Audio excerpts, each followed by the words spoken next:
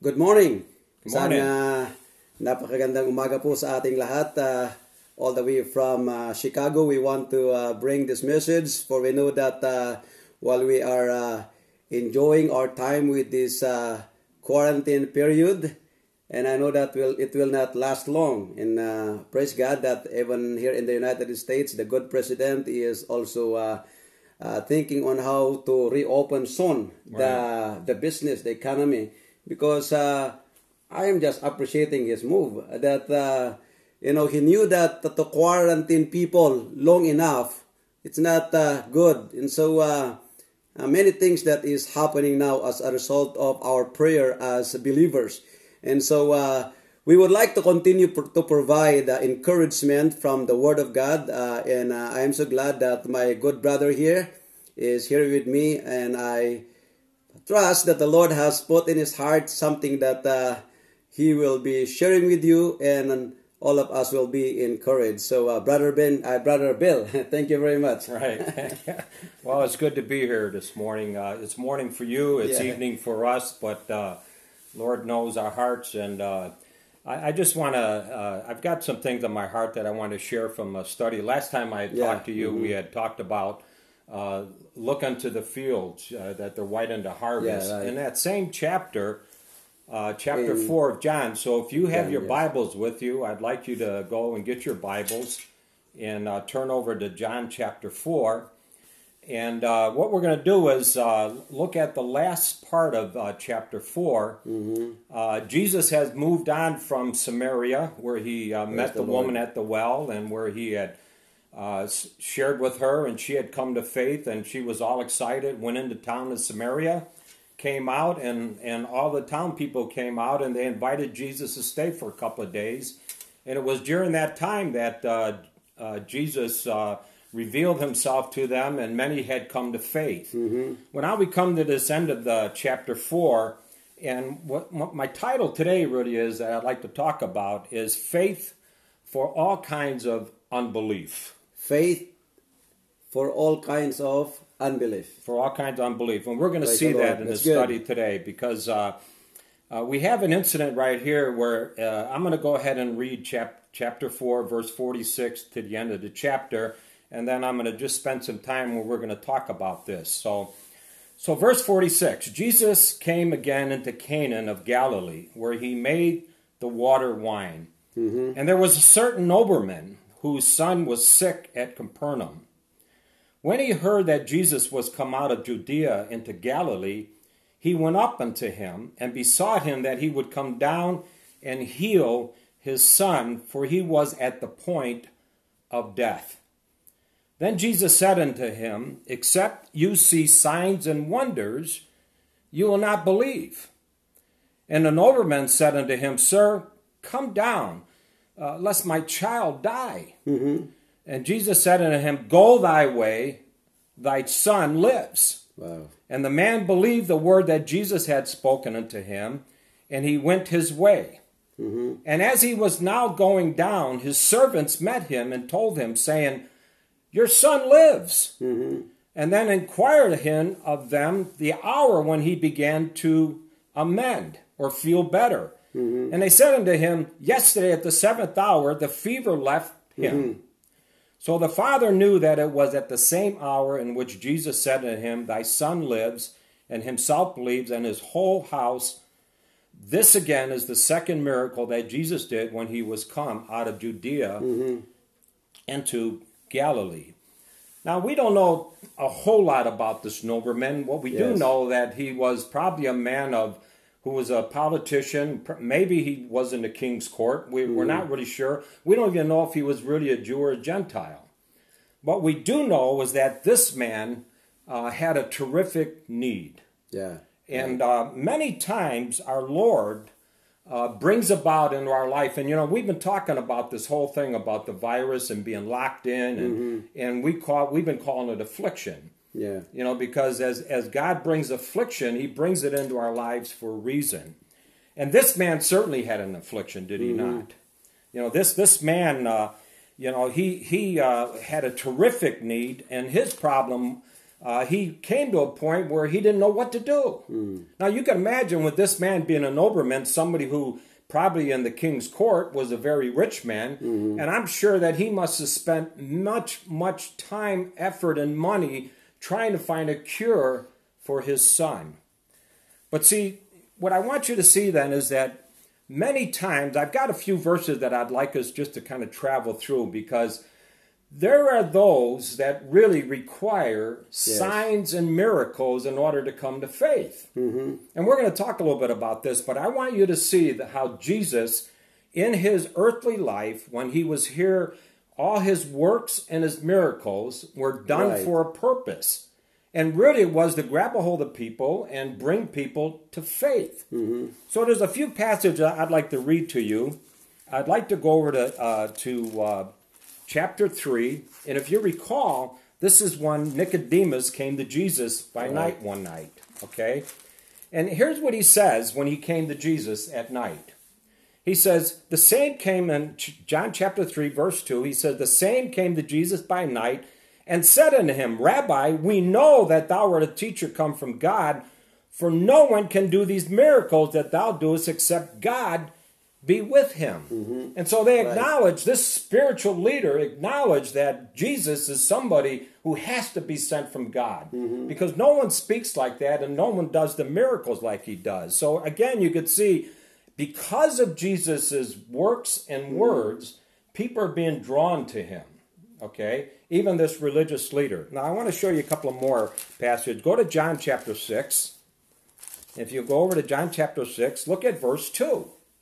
And a great multitude followed him because they saw his miracles, Wow. which he did on them that were diseased. Okay? Go to uh, verse 14. Then, when those men, when they had seen the miracles that Jesus did, said, This is of a truth that prophet that should come into the world. So, here, the miracles that Jesus are doing, there are, no, there are some who are now questioning and saying, This must be the Messiah. No one does miracles like this. Only the Messiah, when he comes, will do Yes. these types of work. And then I want you to go over to, to chapter 7, uh, verse 31. And here you see it says that, and many of the people believed on him and said, When Christ come, will he do more miracles than which this man has done? Uh, so what I want you to get a feel for right here is that that Jesus in his ministry, when he was here on earth, is ministering to a multitude of needs. Okay? And one of the things that he's doing, see, there's a lot of people say that unless they see signs and wonders, they're not going to believe. Mm-hmm. Okay? And, and we know people like that. But that brings us to the reason. What I want to share with you is that I want to speak to you about our unbelief. Mm-hmm. Okay? And, and what I want you to see that there's three stages of unbelief that Jesus meets the demand to bring mm-hmm. them from unbelief to faith. Okay? Now, now, bear with me a little bit. Hold on. I'm going to take you through this, but we're going to look at these three stages of unbelief. And the first one is what we call the stage where all I need to see is the beauty of Christ. Right. Okay? Good. There is an unbelief, and this is probably the highest stage. Mm-hmm. You know, if, if you are on having unbelief, but you're at this high stage of unbelief, that all you really need is to see the beauty of Christ. Amen. Okay? And then there's a second stage of unbelief, and this one demands the words of Christ. Mm-hmm. In other words, it's not enough that I would just see the beauty of Christ, but I must be convinced. I, I need to have His his, word. words in my in my life in my heart Right. in order to take me to a stage of unbelief to faith in Christ. Mm-hmm. Okay? Well, then there's a, a third one of, of unbelief, and this is the one that we're kind of talking about here today. And, mm-hmm. and in our story here with the nobleman, okay? He needs a miracle. Mm-hmm. And this is the kind of unbelief that says, I, I need more than just seeing the beauty of Christ. I need more than just hearing the words of Christ. I, I have to see a miracle. Mm-hmm. And so this is this is the the third stage. All right. Now l- let me see if I could summarize this and and and you could see what this is. Okay. first of all, let's look at that first one of unbelief that demands the beauty of Christ. That Christ and his beauty will answer that demand and bring these to faith. I, I want you to think about this, okay? Right. I want you to think about it. It really falls into people like when. Remember when John the Baptist, uh, in beginning of the book of John, he says, "Behold, the Lamb of Lamb of God, God. which takes away the sins of the world." world. He says, "Behold." In other words, just look at who Christ is. Yes. And and what happened was is that many started to follow him. Man. Some of his disciples, he just walked by and he said, Hey, come follow me. I'm going to make you fishers of men. Mm-hmm. It was the beauty of Christ that drew them to faith. Right. And they left everything and they followed him. Okay? Well, let's look at the second one. The second one really is what we see here with the Samaritans. Do- And, and I'll give you an illustration right here. Do you remember when he came to the woman at the well? John You know, chapter it's, it's yeah, John chapter four, the same chapter we're in here. But when he asked her for a drink of water, you know what her response was? She wasn't looking at the beauty of Christ. Mm-hmm. She, in fact, when she looked at Jesus, she just called him a Jew. Mm-hmm. He said, "Would you, a Jew, Right. Come and ask of a Samaritan woman for a drink of water?" Right. And so she sees Christ, but the beauty of Christ wasn't what attracted her. What mm-hmm. was it that that she was a woman of unbelief? It was the very words of Jesus that came to her. Yes. Did yes. it not? Yes. You know, he came to her and he he started this communication and he he started to search her heart. Mm-hmm. And and it was the very words of Jesus that that really spoke down deeper in her heart. You know, he told her some things about uh, you know, go call your husband. She says, Well, I have no husband. He said, Well, you've said that right. because you don't just have, well, you've had five husbands. And the man that you're with is, isn't even your husband. Yes. And then she goes on, well, I'm- I perceive you you must be a prophet or something. Well, then he goes on and he really comes through and he finally comes right out. And she says, when Messiah comes, he will tell us all these things. And he looks right at her, he says, I am he. And you Praise remember what she did? She got so excited that she didn't even get her water. She left her water pot there and she went into town. Mm-hmm. And what did she do? She started telling others about this Jesus. I this is the Christ. Is this is not he told me everything about Mm-hmm. me that that nobody else would have known, but he told me, is not this the Christ? And you remember then the people then started coming out Nice. Lord. out of Samaria, and they came out out of the city into the fields.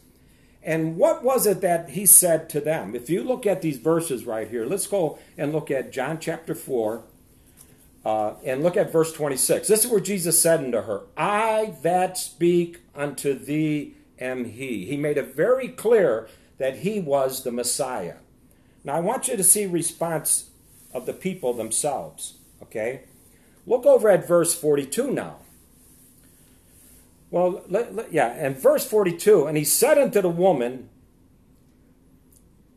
Now we believe, not because of thy saying, for we have heard him ourselves, and know that it is indeed the Christ, the Savior of the world. Do you see what happened here? Mm-hmm. She went out, she was full of faith, went out, started telling others about Christ, and they said they came out to hear, and they heard the precious words of Jesus. Mm-hmm. And it said that many of them came to faith, Praise and the they Lord. believed.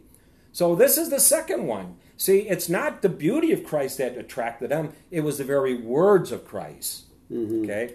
Well, now we come to this third one right here, and that has a lot to do with this particular man, the nobleman. Okay? He is a man, and, I, and, and let's get into a story about him because I want you to understand this. This man has a tremendous need. Mm-hmm. Okay?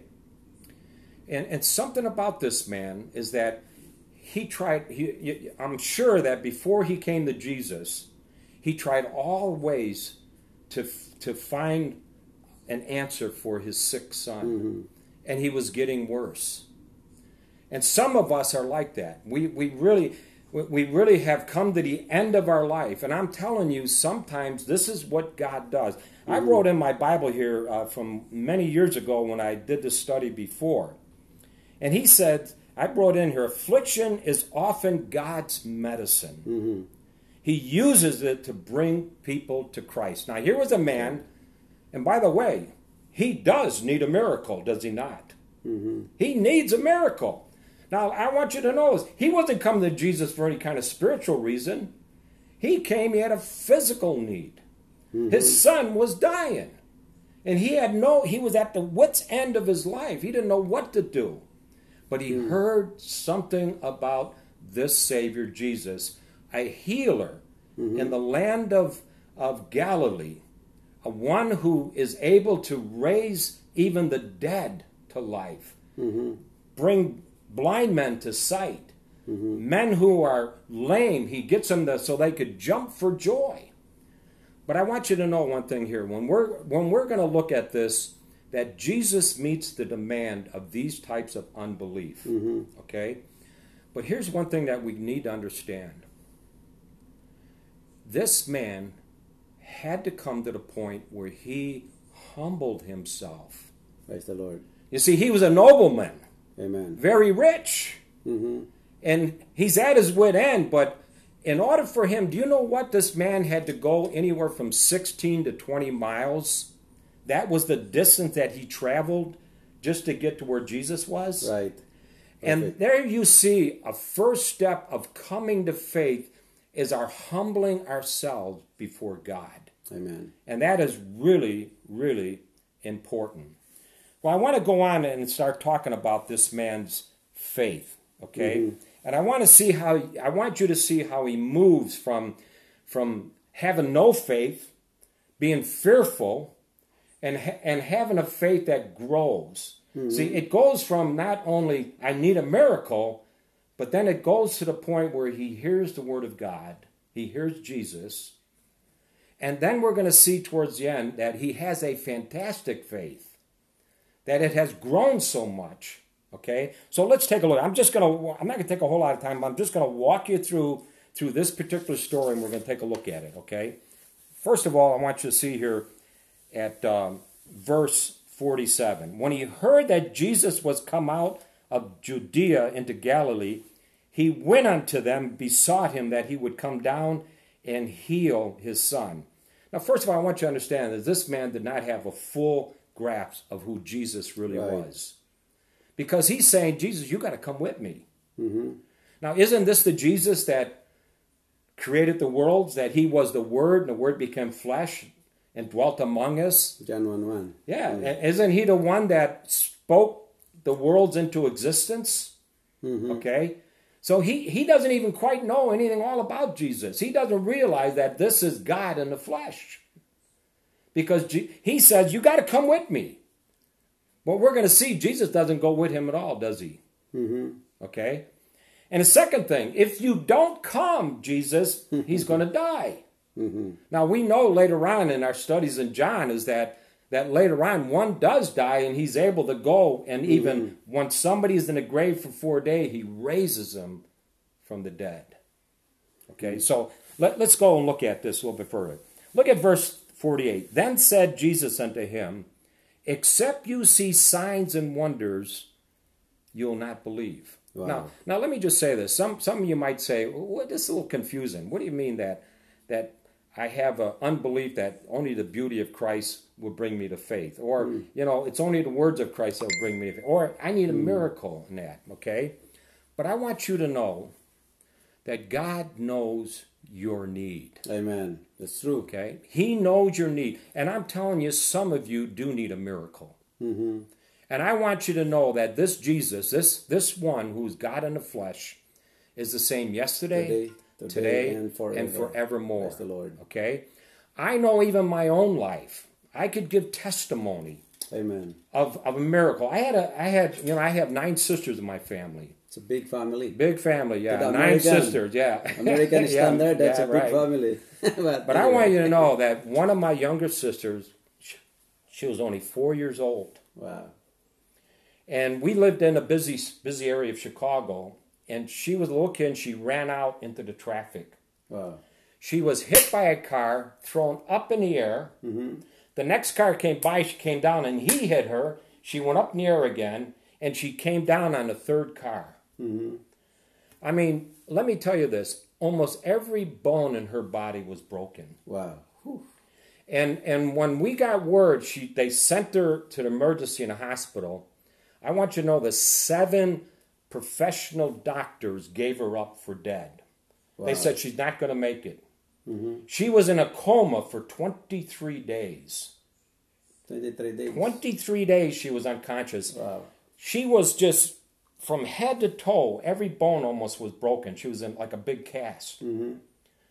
But I want you to notice now. Now, at that time, I was not really a believer. You know, mm-hmm. my I came from a, a, a large family. We were a Catholic family, but I remember my mother taking me to church. We went to the church three times a day and prayed for my sister. Now, we needed a miracle. Seven doctors said she wasn't going to live. We needed a miracle. You know, to this day, I want you to know that she is a grandmother. She has grandchildren. And, and she has, and, and that's been over 40 something years ago. Mm-hmm. But I want you to know, at that time, maybe in my life I didn't fully understand it, but God used that. Mm. That, that stuck with me. And so there are times, what I'm trying to say to you is that God knows your need. And whatever your unbelief is, He could meet it, except for one. I left out one unbelief that I think is really important that we, that we must take a look at. Okay? And this is the unbelief that says, I will not believe.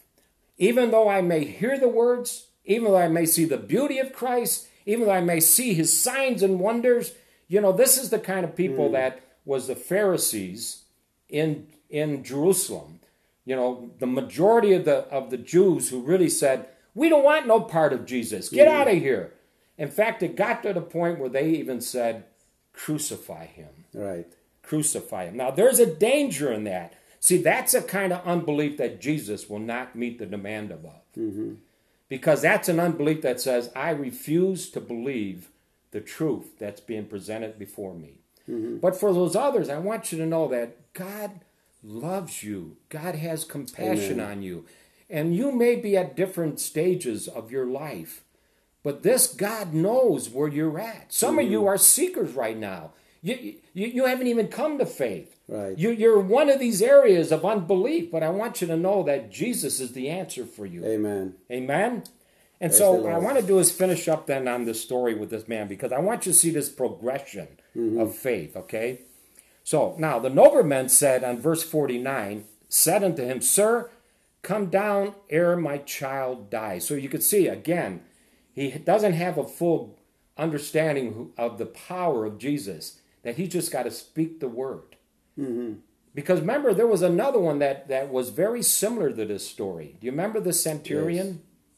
And he had a servant that had that was uh, being uh, possessed by a devil and he had epilepsy, and and he came to Jesus, and and he wanted him. And this wasn't even a Jew; he was a centurion, a Roman centurion. And see, there's no see. Let me tell you this: whether you're a centurion, whether you're a servant, whether you're poor, whether you're rich, Jesus can meet your need. Right. He has no respect to person. Okay, but do you remember the story of centurion? Jesus, well, I'll go with you. Here, I'm going to go and I'll, I'll heal you, sir. And he says, Oh no. He said, and he calls him Lord. Yeah. And he says, Lord, you know, I'm not worthy that you would even come to my house. Just Bear say the word. Yes. He says, Just I'm a man of authority. And when I tell my my servants or my army to do this, this, or that, they do that. Not all. He says, I'm a man of authority, but He no authority. yeah, and he knows that Jesus has this authority. Amen. And he tells Jesus, just say the word, Jesus. Amen. But this man, he doesn't understand that. He says, Jesus, you got to come with. And look at verse 50. Jesus said to him, Go your way, thy son lives. Mm-hmm. And the man believed the word that Jesus had spoken, and he went his way. Now, we mm. see his faith start growing. See, he needs a miracle, mm-hmm. Okay? But now he hears the words of Jesus just go. Mm-hmm. Your, your son is healed. And what does the man do? He goes. He, he, he goes. He's listening now to the words of God. You see the mm-hmm. how he's making it through these phases? Okay, he needed a miracle, and Jesus met that by his grace Right. and mercy. And now Jesus is speaking words to him. And now he's obedient to it and he's walking mm-hmm. and he's going back. Praise the Lord. And then look at verse 51. And as he went, was now going down. See, remember I said it was 16 to 18 miles or 16 to 20 miles. So he's on his way back. And in the meantime, at the moment this servant got healed, uh, this son Praise got Lord. healed, the servants left and tried to find the nobleman. And they met halfway. Wow. Good. And, and and and right away, look at look at he inquires of him. They they tell him, and they said, "Thy son lives." And then they then inquired he of them the hour when he began to amend. Meaning that word amend means getting better. Yes. And he said, "No, no, no, no. When Jesus does a work, he does a full, complete work. Amen. Your son is healed. Complete. Praise yeah, the Lord. complete. It's it's it's finished. He's done."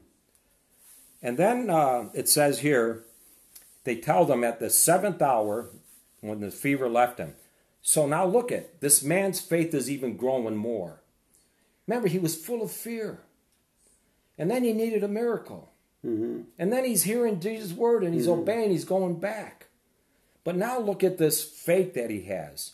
So the father knew that it was at this hour in which Jesus said unto him, Thy son lives, and himself believed, and his whole house.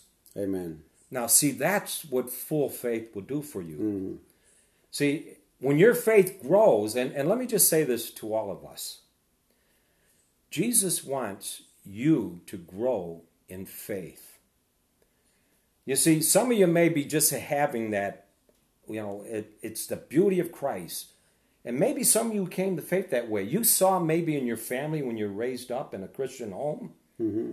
Maybe you saw it exemplified in your mom and dad, or, or maybe you knew somebody whose life was totally changed. Mm-hmm. And now you see that their life is different and you see the beauty of Christ in them. But see, others of you, you've come to faith when you started to get into the Word of God. And let me just say this for your faith to grow, mm-hmm. to get into a confident faith, a contagious faith, Yes. is you need to get into the Word of God, grow in grace. Amen. And then the more you walk and are obedient to God, the more your faith grows. Grows. Isn't it not? Yes. Isn't that true? So let me just finish with these questions, okay? Let me ask this Where is your faith? Amen. Where's your faith today? Or let me ask another question What type of unbelief do you have? Amen. What is it that Jesus needs to do in order for you to come to faith? See, whatever your unbelief demands, I want you to know that Jesus is the answer. Praise the Lord. He's yes, always the answer. There's no one else that we know of in this universe. God made it very clear, and Jesus made it very clear before he went back to with his Father I am the mm-hmm. way, the truth, and the life. No one comes in the Father but by me. See, that's salvation. And, and brothers and sisters, if you're listening and you want your faith to grow, trust Jesus, believe in him. See, faith isn't blind. Faith is trusting in the very person of God. Amen? Amen. It's trusting God's word. So let me just say that I wrote this down. It says, whenever you are in your unbelief, Jesus is the answer. But beware. Beware of the unbelief that continues to say no. And so I'm saying to some of you right here that maybe, you know, we're all in our families, and some of you are really coming to the point where, you know, God is shaking you, getting your attention through this time of being held together, and and maybe you're you're frustrated, maybe you're uh, you're you're fearful, and, and you don't have answers for life. I want you to know that the very first thing you need to do is what this nobleman did. He humbled himself. Amen. See, faith has no room for pride. Right. There's no room whatsoever Mm-hmm. for pride when it comes to faith. We have to trust God. I want to bring you to one last verse, and this is the warning, okay? Beware of the unbelief that continues to say no. Eventually, what did they say? Crucify him. Right. Crucify him. I mean, this is the words that they said, but I want you to look at Revelation chapter 21. Revelation chapter 21.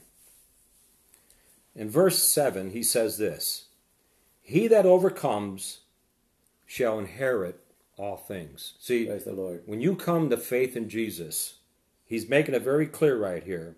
You shall inherit all things. And I will be his God, and he shall be my son or daughter.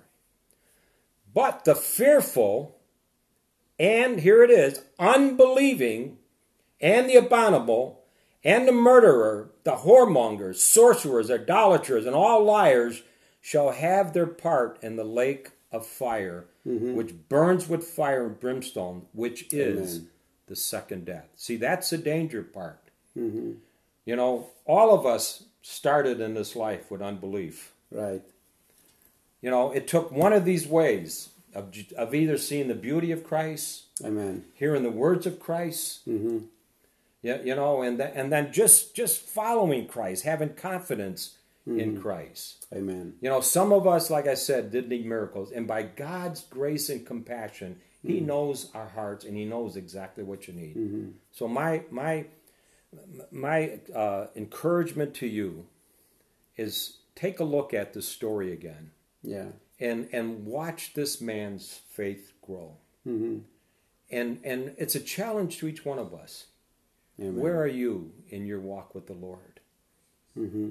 Make sure you stay faithful to the Lord. Mm-hmm. Make sure you get into His Word and, and read it and follow it, and your faith will grow. Amen. Amen. Pastor, any Praise final Lord. words? Wow, that would be really encouraging to all of us that we may see the beauty of the Lord Jesus Christ and uh, understand His Word.